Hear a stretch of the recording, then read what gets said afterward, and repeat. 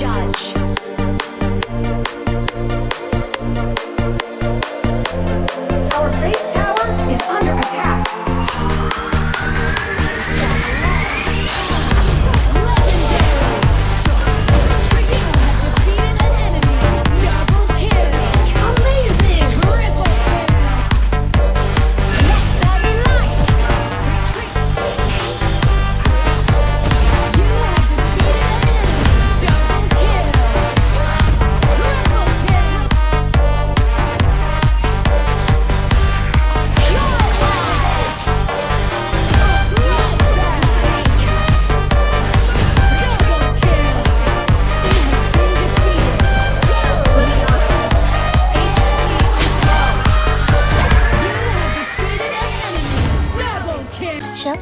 Shop xuantv.com nơi bán nước liên quân Free Fire uy tín giá rẻ. Ra mắt vòng quay không đồng, vòng quay quân huy với cơ hội nhận lên đến hàng nghìn quân huy. Thử vận may liên quân nhận nick cực kỳ ngon. Đặc biệt lần đầu tiên đăng nhập shop nhận quân huy free. Hãy truy cập ngay shop xuantv.com. CLB.Win Website chơi chẵn lẻ liên banh uy tín số 1 Giao dịch tự động 24 trên 7 Thanh toán siêu tốc chỉ trong 3 giây Website đầu tiên chơi được liên banh Truy cập ngay CLB.Win chẵn lẻ liên banh thanh toán siêu tốc Hello, xin chào tất cả mọi người nha. Thì hôm nay mình sẽ hướng dẫn bạn cách mua nick ở shop xuantv.com nha. Các bạn nhớ truy cập đúng đường link dưới phần mô tả để cho đúng shop nha mọi người. Ở đây thì các bạn nạp tiền thì các bạn lưu ý là chọn đúng loại thẻ và mệnh giá cho mình nhá Nạp tự động trong vòng 5 giây thôi. Và khi các bạn nạp mệnh giá từ 50k trở lên á là các bạn sẽ được tặng vòng quay miễn phí nha. Và cứ 50k chúng ta sẽ được một lượt nha. Nạp càng nhiều thì càng nhiều lượt. Ở đây thì shop các bạn có thể chơi các vòng quay cung huy này, vòng quay nick này, đó. À, mục đích liên quân trắng thông tin này, đây rất là nhiều mục luôn và các mục thử vận may liên quân nha những nick cực kỳ khủng đó bạn ơi các bạn cứ thử là biết nha đó thì hôm nay mình sẽ mua một nick ờ, ở mục liên quân nha mọi người. Nick ở đây là tặng thông tin 100% này. Có số điện thoại thì liên hệ pay để đổi nha vì đó là số của shop nếu bạn yên tâm. À, tiếp theo là chúng ta sẽ có chương trình giảm giá lên tận 40 phần trăm bạn ơi rất là rẻ luôn. Đây rất là nhiều nick các bạn ơi tha hồ cho bạn lựa chọn nha skin gì cũng có nha mọi người. Đó ở đây thì mình tìm ra một nick có skin Ryoma Samurai. Đó nick này có giá là 300k thôi bạn ơi rất là rẻ nha và có 64 tướng và 86 trang phục ok, và mình sẽ mua luôn cho bạn xem nha. Ok, đây nha mọi người, tài khoản mật khẩu nha. Mình sẽ kiểm tra thông tin cho mọi người xem trong này. Đó, tặng thông tin nha mọi người. Bây giờ chúng ta sẽ cùng vào ghi để kiểm tra cho mọi người xem luôn nha. Đây, rất là uy tín phải không các bạn các bạn còn chừng chờ gì nữa? Nhanh tay truy cập shop sungtv.com để mua nick cho uy tín mà giá cực rẻ luôn.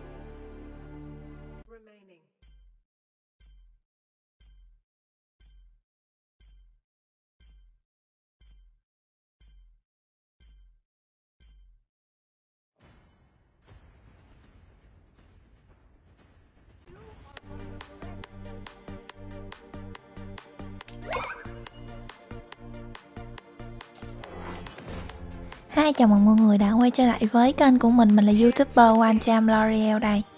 Để cho các bạn khỏi thắc mắc thì mình nói trước luôn là trận này mình mod skin nha. Mình mod skin Thánh Quan Sứ. Để không thôi á, nhiều người lại coi mà hay skip mà hay bỏ qua lại hỏi nữa. Lý do mà mình mod á, là skin này ở bên server này nó giới hạn nha. Và lâu nay rồi nó không có ra lại cái sự kiện skin này cho nên là mình muốn chơi thì mình phải mod thôi bởi vì mình mod bằng cái app Nox, cho nên là không có cái ấn ký trên đầu tướng địch. Còn mình thử mod file rồi, nhưng mà đa số mấy cái file đó là file của server Việt. Mình chơi server này mình mod file không có được. Rồi quay trở lại với trận đấu thì game này mình đi mid với lại Liliana và mình cực kỳ ghét con Lily luôn. Cái chiêu một của nó mình cứ canh 5 giây, nó chuẩn bị nó quăng cái chiêu ra là mình hơi lùi nhẹ đúng thôi, nó lại quăng chiêu trúng mình nữa nè chơi khô máu với mày luôn nè cho mày mất cái tóc biến thì thôi.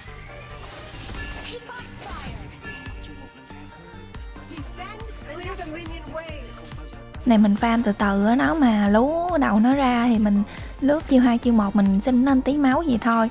Mới cái phút 1 23 thì thằng rừng nó chưa xong đâu, khoảng phút 130 nha. Và hôm nay mình đem bạn ngọc vừa công phép vừa công vật lý luôn về bán ngọc thì ngọc đỏ và ngọc lục vẫn như thường.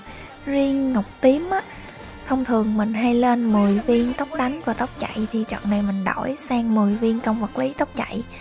Bởi vì chủ yếu mình lên 10 viên đó để mình lấy 10% tóc chạy thôi.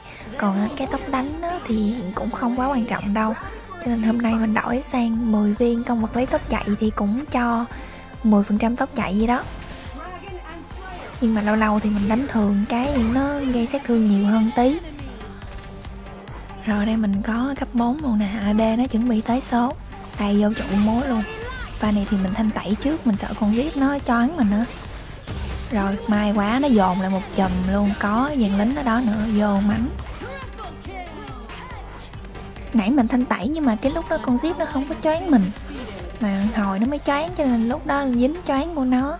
Nhưng mà cũng may là mình cũng sống pha đó đó không nghĩ là cái pha đó mình tự tin vậy luôn. Nhưng mà tại vì mình thanh tẩy sớm là mình sợ mình dính choáng của con zip á cái mình khẩn là né trụ hụt liền. Trận này thì mình lên đồ vẫn như thường lại thôi và các bạn nào mà muốn biết cách lên đồ cũng như trang bị phù hiệu bản ngọc của mình trong mùa 26 này mạnh nhất á, thì có thể xem dưới phần mô tả ha. Rồi chuẩn bị con pha sao tranh trong rừng này. Liliana này không biết chơi tự nhiên dẫn cáo vào sao tranh. Rồi ở đâu có Zena ra hết máu nè khơi khơi được ship hai mạng ngon ơ vậy. Ông Zena ở đâu trong lòng bay ra, không để ý luôn. Khi mà các bạn chơi Lily gặp lâu á, thì đối đầu với nó, solo á, đừng có để cái dạng cáo này trước nha. Bởi vì như vậy rất là dễ chết á. Đó, pha này là nó không có tốc biến là nó chết với mình, tại vì nó hóa người á. Thì khi đó là con Lily nó giống như là một con pháp sư truyền thống vậy á khi đó thì lâu cũng có thể né được cái chiêu choáng của nó và tiễn lên bảng điểm số luôn. đối đầu với con lâu á là ở dạng người chiêu hai chiêu một cấu rẻ thôi. Rồi thời cơ thích hợp á thì hãy lao vào cào con lao mà phải đợi con lao lướt xong rồi mới quăng chiêu vô nha. Và đặc biệt á là không có đứng trong cái vòng của con lâu để rặn cái cục linh đạn cũng như là không có hóa người trước mặt con lâu pha này mình bật đại phán xét lên tính là không có cho nó ăn con rồng á mà con AD nhìn thì lớp lớp bắn, khó chịu quá. Thôi pha này chết tôi rồi.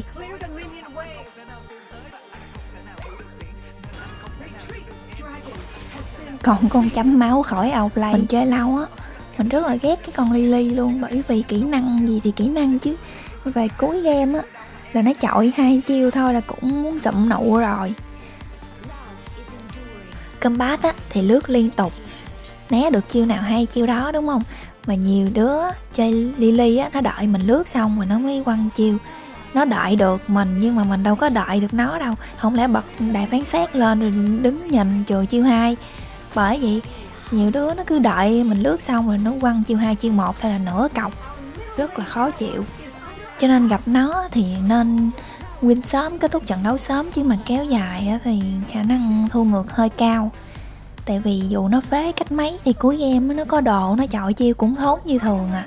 Mà con Lily nó lại hơn con lâu ở điểm là nó đẩy trụ nhanh.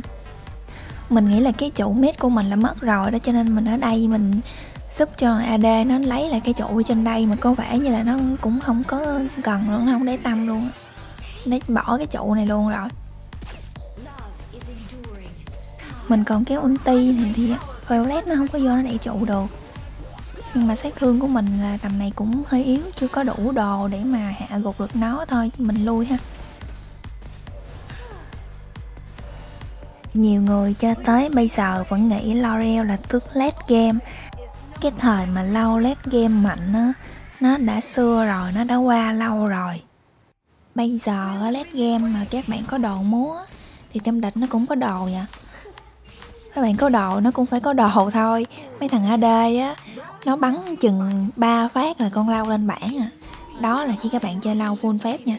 Pha này mình cũng dám bằng trụ luôn, tại ata cũng miếu rồi á. Thôi, pha này cái trụ còn tí máu thì chắc mình cũng về luôn, chứ mình thủ cũng không nổi luôn á. Chơi lâu mà full phép, cuối game AD bắn vài hit là chết. Còn mà chơi lâu mà xem mi nửa tăng nửa phép thì phụ thuộc quá nhiều vào đồng đội nói chung là cái meta hiện tại là kiểu gì late game cũng khó chơi cũng đuối hết trơn á. Và đương nhiên là khi các bạn xanh á thì lúc nào các bạn cũng mạnh hết trơn á. Đó là trường hợp các bạn xanh còn ở đây mình đang nói một cách công tâm nhất là late game khi mà cả hai bên đã ngang độ với nhau còn Lily nào quay lại đã chết á. Mình nghĩ nó cũng hồi cái chiêu chạy rồi. Con Lily á các bạn nên chớp cái thời cơ hạ nó. Khi mà nó mất cái chiêu cuối uh, à, cáo á. Cái chiêu nó chừng 5 giây à thì 5 giây đó các bạn phải hạ nó nhanh. Còn nếu không là nó chạy mất tiêu. Cho nên chơi con này là tranh thủ win sớm nha. Còn nó kéo dài trận đấu hoài là hơi mệt á. Game này là có vẻ win sớm cũng không được luôn tại vì bạn nhìn chỉ số rồi cũng thấy rồi đó. 8 trên 11 mà hết 6 mạng là mình ăn rồi. Team mình trận này quá phết những trận như thế này thì mình hạn chế sao tranh ha, và tập trung farm. Ở chỗ nào mà có lính quái là mình farm hết. Và chỉ đi với đồng đội thôi. Đi chung với team. Nếu mà gặp kẻ địch đi lẻ thì có thể tổ chức ganh với đồng đội. Còn không thì nên là hạn chế sao tranh mà chỉ đứng trong trụ, thủ trụ thôi. Nói về khả năng thủ trụ thì con lâu này cũng không phải là tốt nhất cái game này đâu, nhưng mà cũng là khá tốt ha. Cho nên nếu mà các bạn thủ thành công mà hạ được bên địch đó thì khả năng lật kèo cũng dễ á. Game này thì mình chỉ ngại mỗi con zip với lại à, lily về cuối game thôi. Sau khi lên được cái vương miện thì mình lên quả cầu băng xương là một món đồ giữ mạng ha. Bởi vì Lily này thì mình không biết là nó vừa mới hóa người hay là nó đang dạng người sẵn cho nên mình bật ulti. Không bắt được nó thì thôi cũng không sao đối với những cái trận đấu mà đang thọt như thế này thì sau khi lên được ba món đó là dạy thực sĩ, ngọc đại pháp sư và vương nghị hai két thì món tiếp theo các bạn lên tiếp cho mình là cái quả cầu băng xương bởi vì đó là món đồ giữ mạng. Bởi vì khi mà các bạn đang thọt á, là các bạn đang lên đồ sau bên địch, thì lúc này có thể là nó đã có đồ xuyên sáp rồi cho nên là lên sáp thì cũng vô nghĩa với nó thôi cho nên là mình khuyên các bạn nên lên cái quả cầu băng xương này trước. Và nó hồi chiêu cũng khá nhanh đó chỉ có 75 giây thôi. Hoặc nếu muốn lên sáp quá trời rồi thì cũng có thể mua cái sáp nhỏ, cái mảnh sáp hoặc là ở đây kháng phép. Nếu như muốn kháng phép, rồi sau khi có được cái quả cầu băng xương rồi thì mấy món sau muốn lên gì lên. Muốn phun phép, bùng nổ, bùng cháy cũng được, mà muốn nửa tan, nửa phép cũng được. Và những trận đang thọt như thế này thì đồ xuyên sắp phép các bạn nên để sau bởi vì xuyên sắp phép thì giúp cho ba chiêu của lâu gây ra sát thương thấm hơn lên tướng địch thôi. Chứ thực chất thì cái nội tại của nó có sát thương chuẩn là đã đủ rồi. Bởi vậy nên con này người ta hay đem đi lên đồ Xiaomi nữa tăng nửa phép á. Con này là số ít pháp sư có thể làm điều đó nha. Đa phần là pháp sư bây giờ toàn lên full phép không? Hoặc là sát thương phép duy trì. Chứ ít con nào mà có thể lên đồ nửa tăng nửa phép như sau đâu. khi lên được qua cầu băng xương rồi thì mình sẽ lên cái băng nhận Skadi để có tí sáp. Và sau đó thì mình sẽ dựa theo thế trận mà mình lên đồ. Nếu như mà phép nó mạnh quá thì mình sẽ lên đồ kháng phép ha. Trời ơi eo su cũng ăn bộ xanh nữa không hiểu luôn. Gặp những đồng đội như thế này là khó chịu thiệt sự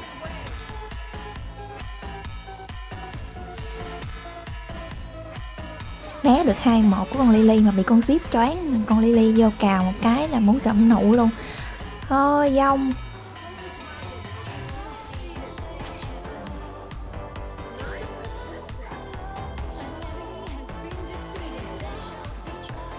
Bình chín máy là bắt đầu thấy hơi mệt trong người rồi nha. Bình chín máy là sẽ hơi khận gần 0.1 giây á. Giờ mình thấy là nó mà nhào đầu ra nó hóa người là mình bay ra mình đập nó liền rồi mình khoan nó lướt ha. Mình đợi nó lướt xong rồi mình mới lướt lên bật lại phán xét nè. Không còn tương lai nữa. Pha này mình lướt vô trụ mình nghĩ nó chưa chết cho nên là mình hụt cái chiêu hai. Và một phần là do cái mạng của mình nó hơi khận nữa và một phần là mình uh, canh sát thương hơi sai cái khúc đó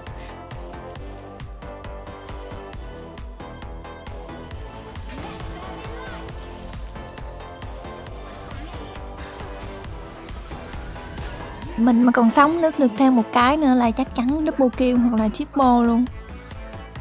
Rồi giờ mới đầu thai ra là còn có hai đứa thủ trụ không biết nổi không nữa. Và khi mà lính chuẩn bị vô thì bạn dùng chiêu một lên con lính để tích hai tầng nội tại lên con lính rồi, bật đại phán xét, lướt ra ngoài né cây ra nè, lướt lùi về nè. Rồi ba đứa chụm lại nào, triple kill luôn, đơn giản. Một pha mình phải pen thủ trụ thành công và cái lý do mà mình kêu các bạn là dùng chiêu một lên con lính trước đi, bởi vì khi đó là các bạn đã tích được cái nội tại trên con lính đó và nếu mà địch nó vô trong trụ là các bạn bay ra, các bạn bật hệ phán xét lên là nó sẽ nổ cái nội tại, nổ lan trúng vô mấy con tướng địch nha. Không biết là có đủ sát thương đi hạ được con Slayer này không nữa, trong khi là Lily nó sắp farm xong rồi. Rồi chắc là mình nghĩ không ăn được con Slayer này đâu, và Lily nó cũng không có cướp nổi đâu cái pha thủ trụ mới nãy là do chỉ có một con xe vô trụ thôi, cho nên mấy bạn chưa có thấy được cái sự áo diệu của nói tại con lâu đâu. Khi mà có ba con lính, con xe rồi đó, nhiều nhiều chút xíu rồi các bạn sẽ thấy mà mình nghĩ là có một số bạn ở đây xem được trên tiktok rồi. Cho nên là khi mà cái địch nó chuẩn bị nó vô trụ mà các bạn thủ trụ thì nhớ là dùng chiêu một trước nha. Và khoan hả, dùng chiêu hai hay là lướt vô cái dàn lính nha, là nó nổ là mất cái nội tại đó thằng này là mình không biết là nó có map không, nhưng mà nếu mà nó đọc map được thì nó cũng biết là mình trong đây á. Nãy giờ bên team địch đó là nó chửi ờ, thằng pen bên mình hack map, nhưng mà có thể game là xếp trận cho bên mình một thằng hack map, nhưng mà đã lấy lại ờ, hai, ba người đồng đội. Trận này là mình thấy giống như là hai đánh tám. Suy ra cũng hoài thôi, tại vì ba thằng kia là nó viết như mưa vậy đó. Rồi để con Slayer này cho eo su nó dọn ha. Mấy đứa kia yếu mà mình nghĩ là nó hết chiều đó, cho nên mình lên đây mình đánh nè, mình còn cái đại phán xét nè. Giana đứng yên tụ người chạm tóc biến đấy chứ mà mình vẫn còn qua cầu băng xương mà đằng sau mà tứ người chạm chúng mình được đây. Rồi cái chiêu một của mình nổ chết hai đứa luôn. Double kill. Tại game này 2 với 8 nhưng mà xem như là mình đã gánh tem thành công và có lẽ trận đấu cũng kết thúc tại đây. Cảm ơn mọi người đã theo dõi. Đừng quên bỏ ra vài say để like và đăng ký kênh giúp mình ha. Bye bye mọi người, hẹn gặp lại mọi người ở những video sau.